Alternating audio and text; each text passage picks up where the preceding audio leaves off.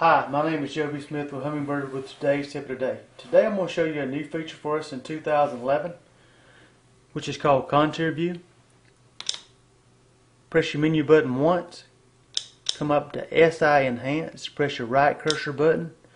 Now you have a small menu at the bottom that says Contour, Contour Mode. Right now it's set to off. Now you can turn that on. So now you really, what we've done was actually took the water column out and so now you actually get a full view of actually what the bottom really looks like without the water column. And that's all they are to change the contour view.